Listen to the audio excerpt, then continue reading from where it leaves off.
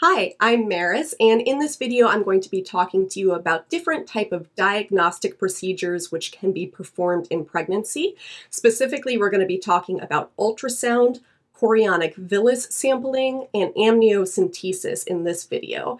I'm going to be following along using our maternity flashcards. These are available on our website leveluprn.com. So if you want a set, grab a set, and if you have one already, I would invite you to follow along with me. All right, let's get started. So first up, we are talking about ultrasound, which is a very common diagnostic procedure performed in pregnancy. There's a lot of reasons it could be done. It can be done initially to help locate the pregnancy, ensure it is in the uterus, ensure that it is viable, and we can actually date the pregnancy and see how far along the patient is based on the size of the embryo, of the developing fetus.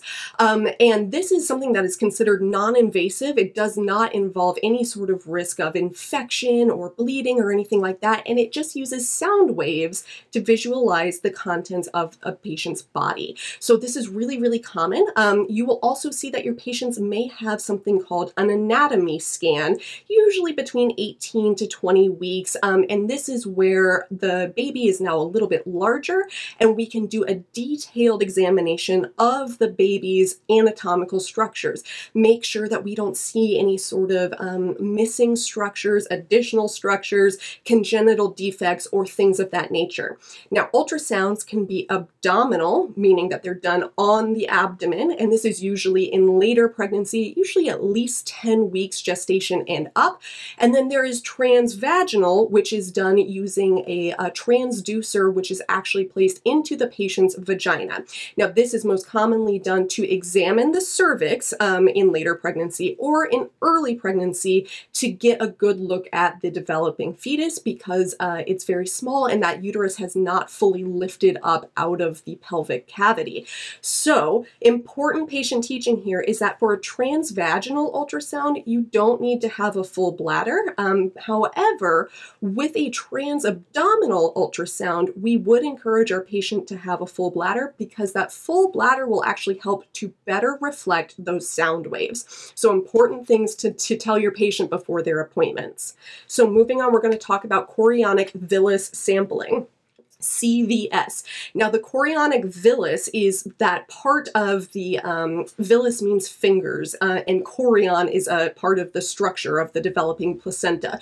So, chorionic villus are the finger like projections of the chorion, and this is a really good place to sample in early pregnancy between 10 to 13 weeks to diagnose genetic conditions. Now, this is um, invasive so it actually involves passing a catheter through the cervix into the uterus and does put the patient at risk for complications like infection or even miscarriage. So very important to um, weigh the risks and benefits before doing this procedure.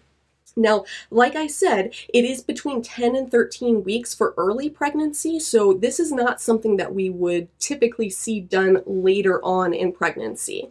Um, now, remember that because of the risk of of bleeding, if your patient is Rh negative, then they should be receiving RhoGAM after the procedure to help to prevent any complications should there be mixing of maternal and fetal blood.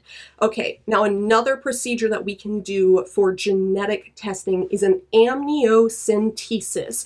So if you remember, centesis is sampling or removing of a fluid from a cavity. So amnio is amniotic fluid, we're removing fluid from the amnion, from the sac surrounding the baby where there is that cushioning fluid.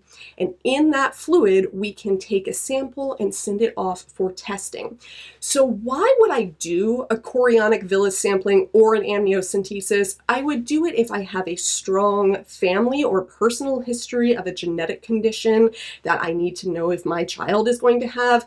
If I had early um, what we call cell-free fetal DNA testing. It's this uh, blood test that a mom may, may have uh, to see about genetic abnormalities with the fetus if we see that there is a chance of of a genetic abnormality, this would be the confirmation. We would have to actually get one of these tests to confirm it. Um, so then you may also remember we talked about the AFP, the maternal serum alpha fetoprotein. This is another one that could be suggestive of a DNA um, abnormality, and this would be something that the patient could do to confirm. Now, the amniocentesis is uh, done later on in pregnancy, so this is going to be between 15 to 18 weeks, and this actually involves passing a needle through the patient's abdomen into the uterus, into the amniotic sac, and removing a small amount of fluid. So I want you to pause the video right now and tell me what do you think are going to be some concerns that you might have in doing this procedure. Okay, I hope you pause the video. Um, so anytime I'm introducing something into a cavity, I'm at risk for infection, right? But I'm also really concerned about damage to the fetus, right? I'm putting a needle into the amniotic sac that protects the fetus. I'm worried about harming that baby. So this is done under ultrasound guidance. So it's not just done blindly. They can actually see where the baby is and where the needle is, but there's always that risk.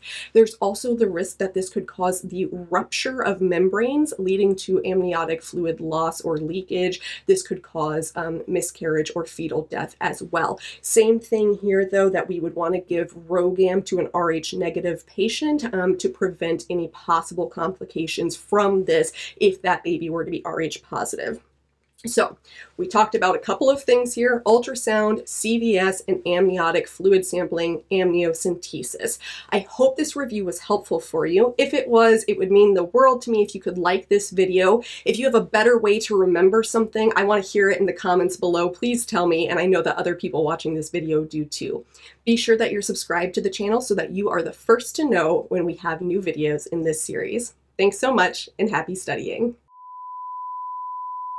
Uh, when I was pregnant with my daughter, I went for the um, anatomy scan, and we went in there and you could see her in profile. Um, she was actually swallowing the amniotic fluid and you could see her doing that.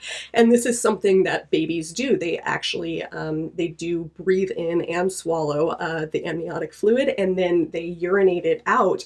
Uh, and that helps to get their kidneys, you know, functioning and helps them to practice breathing. But I have this really cool video of her swallowing amniotic fluid and you could just see her little face so perfectly as she did it. It was really neat. It's incredible what you can see in these nowadays.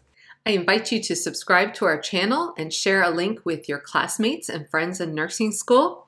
If you found value in this video, be sure to hit the like button and leave us a comment and let us know what you found particularly helpful.